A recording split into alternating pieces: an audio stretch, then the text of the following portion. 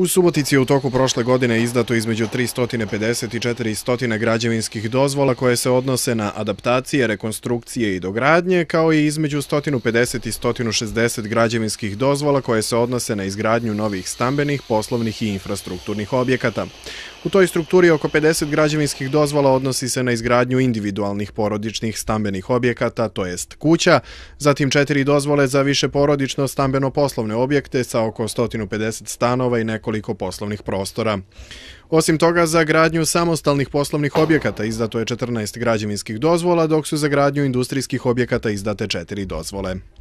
2012. je godina koja nije bila baš nešto onako e, u odnosu na prethodne godine, naročito čuvene 2006. 2007. i 2008.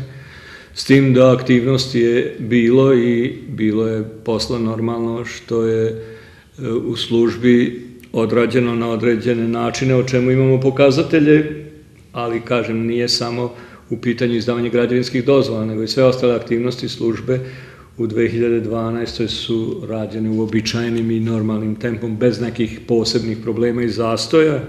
Stanogradnja je u prošloj godini bila po rečima građevinaca jako loša, a nešto bolja situacija bila je sa izgradnjom industrijskih objekata. Oni ocenjuju da građevinska 2012.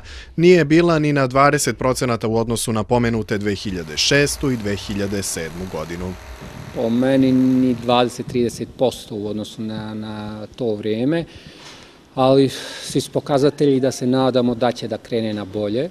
Ovaj, već se pojavljuju potencijalni kupci koje traže stanove, znači da je otprilike uh, oni stanovi koji su bili napravljeni prošle i pretprošle godine su prodati, tako da se nadamo da će u sljedećoj godini da se pokrene stanogradnja, a također izgradnja prirodnih objekata da će krenuti nabolje. Što se infrastrukturnih objekata tiče, izdato je između 70 i 80 dozvola za rekonstrukciju i gradnju puteva, odnosno izgradnju toplovodne, vodovodne i elektromreže. U službi za građevinarstvo napominju da je za izdavanje građevinske dozvole potrebno u proseku 5 dana, ali pod uslovom da je potrebna dokumentacija kompletirana. Međutim, vreme za prikupljanje te dokumentacije je često faktor koji produžava period od početka realizacije ideje do početka izgradnje objekta.